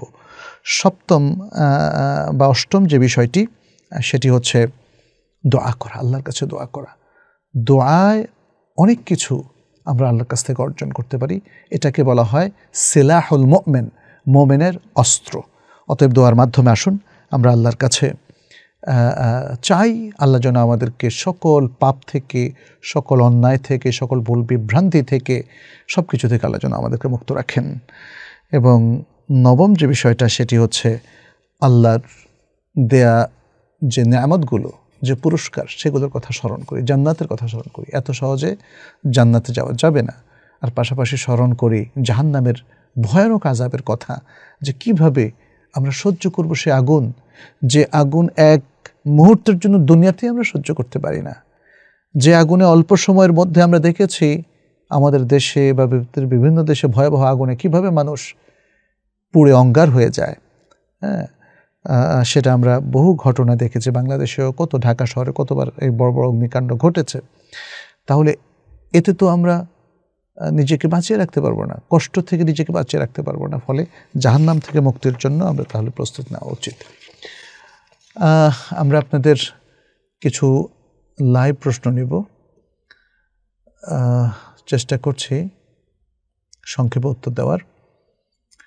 ফাহিম ফয়সাল বলেছেন, আত্মীয়দের মাঝে যদি বিয়ে হয়, তবে কোন সম্পর্ক আগে প্রাধান্য পাবে? যেমন ফুফাতো বোনকে বিয়ে করলে তার পিতা মাতাকে কি ফুফা ফুফি ডাকতে হবে, নাকি শ্বশুর শাশুড়ি হিসাবে সম্মান করে বাবা মা ডাকতে হবে?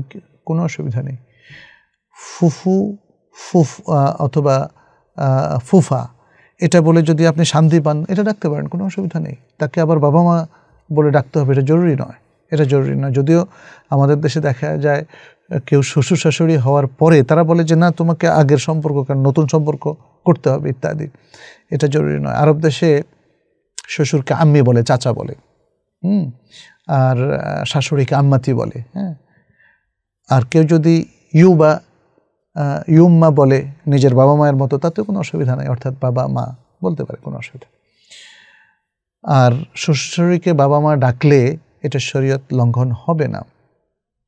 কারণ তাদেরকে বাবা মা বানানো হচ্ছে না। যেটা নিষিদ্ধ, সেটা হচ্ছে নিজের আপন বাবা মাকে বাদ দিয়ে অন্যকে বাবা মা বানানো।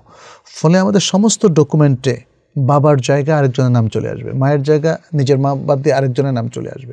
এটা শরিয়াতে নিষিদ্ধ। এই ধরনের বাবা মা বানানো শরিয়াতে জায়জ নেই। এটা কোরআন নিষেধ করে দিয়েছে। কিন্তু কাউকে সম্মান করে অথবা স্নেহ করে বাবা অথবা মা ডাকা যেতে পারে। আমরা আমাদের সন্তানকে তো বলি, বাবা, এদিকে আসো। আরেকজনের সন্তানকে তো আমরা বলি, বাবা, এদিকে আসো। এই বাবা ডাকাটা তাকে বাবা বানানো নয়। ঠিক তেমনি নিজের মেয়েকে আমরা বলি, মা, তাহলে রাস্তা যখন কোনো মায়ের বয়সী কাউকে দেখি, তখন তাকে বলি, মা, আপনার কি হয়েছে? কাঁদছেন কেন? আপনার জন্য কি করতে পারি, তাই না? এভাবে আমরা জিজ্ঞেস করি।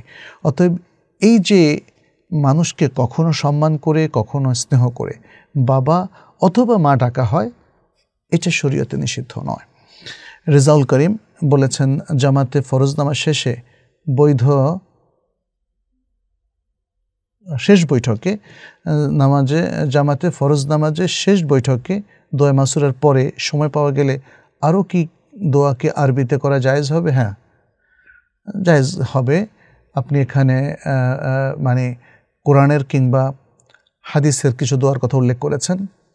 দোয়া হিসাবে যদি আপনি যাই বলেন না কেন, সেটা কোরআনে থাকুক অথবা হাদিসে থাকুক অথবা তার বাইরে থাকুক, কোনো অসুবিধা নেই, আপনি আরবিতে দোয়া করতে পারবেন।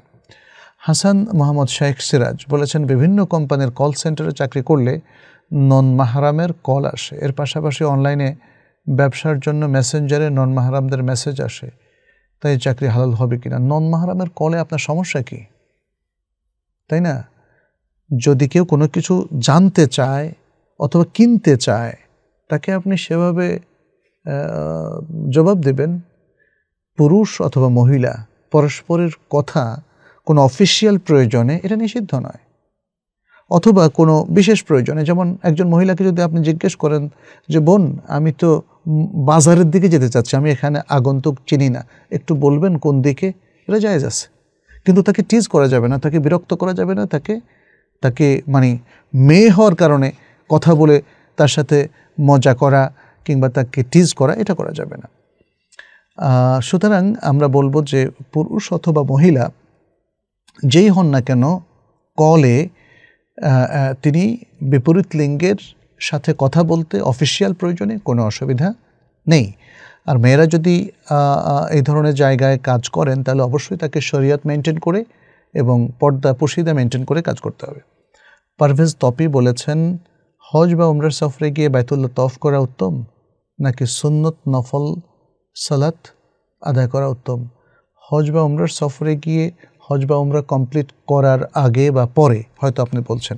অর্থাৎ মূল প্রোগ্রাম তো আপনি সঠিকভাবে আদায় করবেন। তার অতিরিক্ত হিসাবে আমরা ধরে নিচ্ছি আপনার প্রশ্ন যে আপনি কি তফ করবেন বেশি বেশি, নাকি নফল সালাত উত্তম? আপনি সব কিছুর মধ্যেই সম্মেলন করবেন, সমন্বয় করবেন। মাঝে মাঝে তফ তফ করবেন ডেইলি একটা তফ করতেই পারেন। আর নফল সালাত তো আপনি আরও বেশি পড়তে পারেন, কারণ আপনি তাহাজ্জত পড়বেন, অন্যান্য নফল সালাতও পড়তে কোনো অসুবিধা নেই। আর এখন তো যতটুকু আমরা জানি কোভিড নাইন্টিনের সময়, সেই সময় থেকে এখন পর্যন্ত তফটাকে রেস্ট্রিক্টেড করে দেওয়া হয়েছে। মানুষ যখন ইচ্ছা তখন তফ করতে পারে না।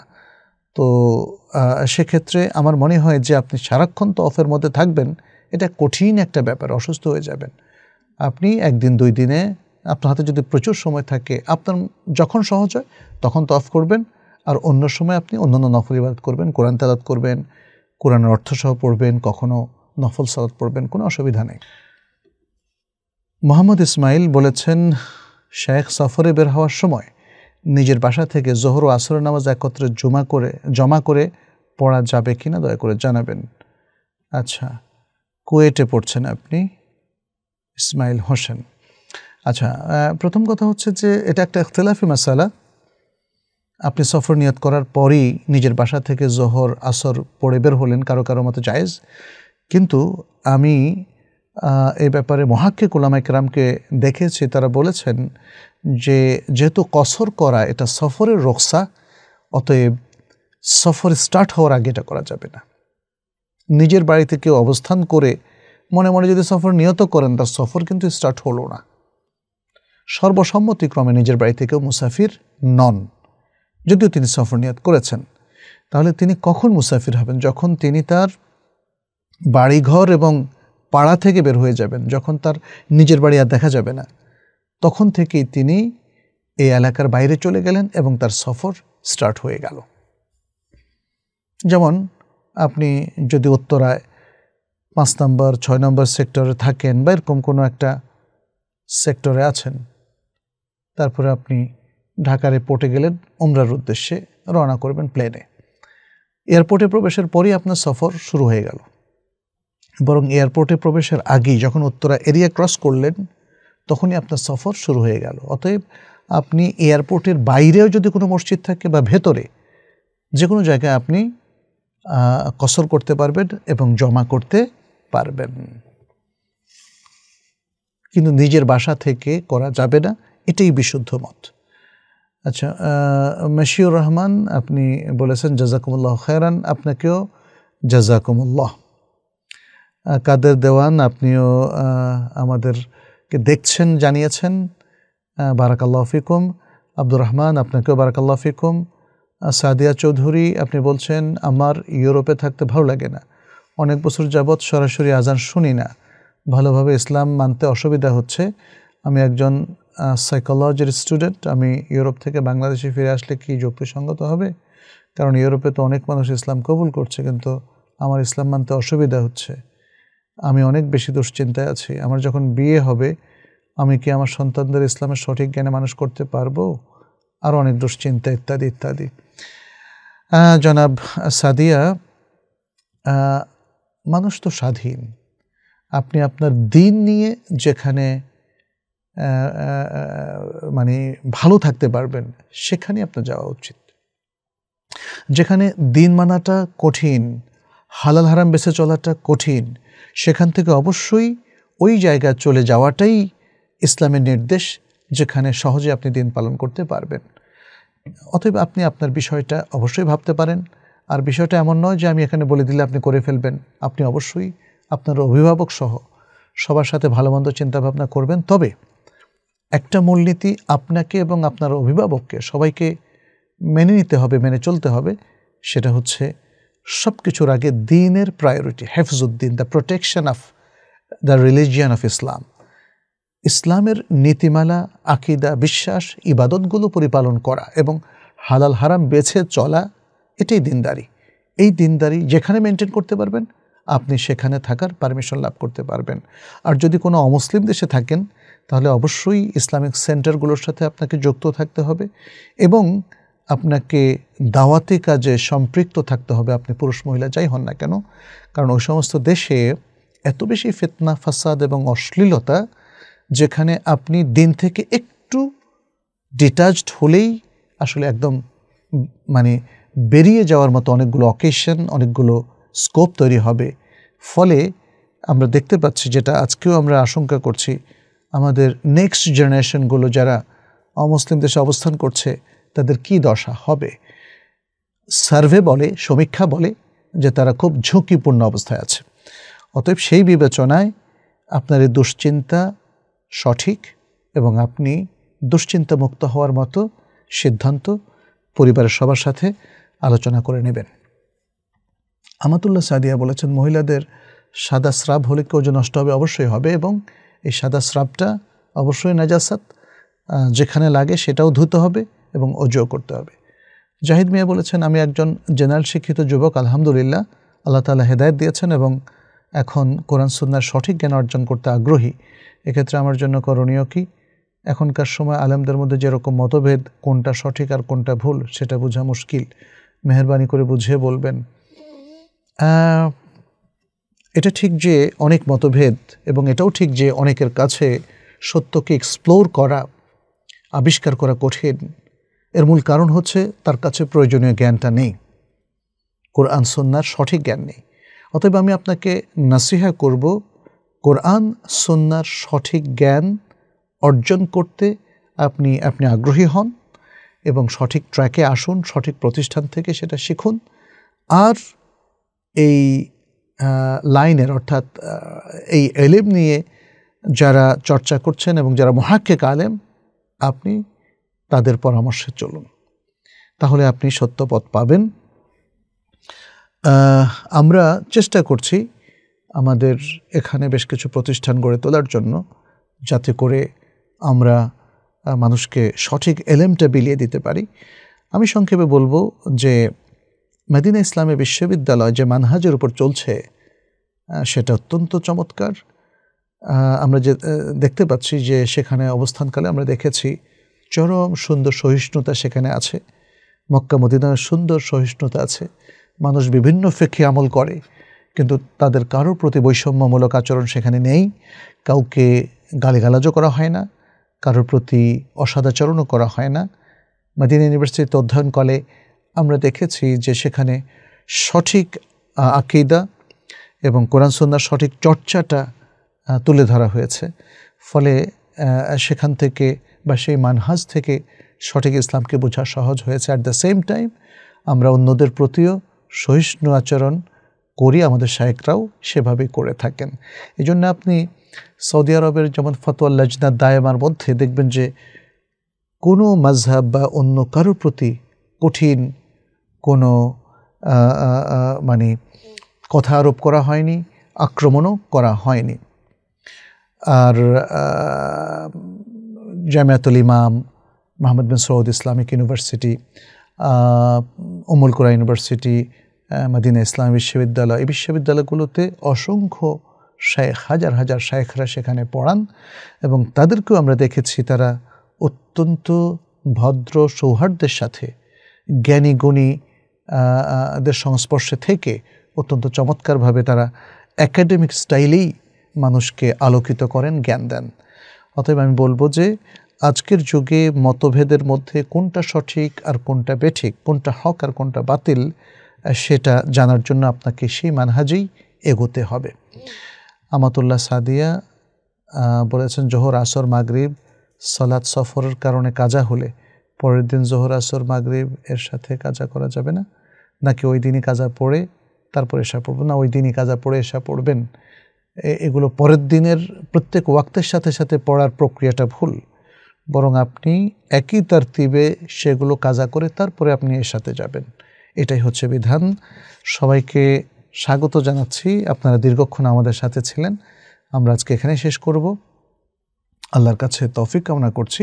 তিনি যেন আমাদের তার দিন সঠিকভাবে কোরআন সুন্না মোতাবেক পালন করার তৌফিক দান করেন। হাদা ওসল্লাহ ওসাল্লাম আলা নবীনা মোহাম্মদ ওয়ালা আলহি ওয়াসাব আজমাইন। আসসালামু আলাইকুম রহমতুল্লাহি ওবরাকাতু